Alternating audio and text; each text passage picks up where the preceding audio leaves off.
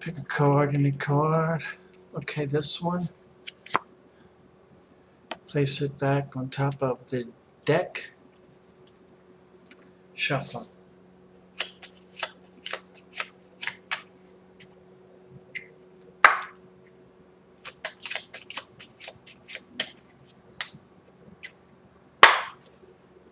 Cut the cards.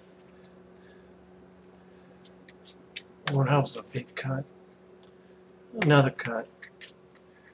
Okay, find the card. There's always something strange about the card, you Charles. Oh, look at that. That's strange. It's that. Five of spades.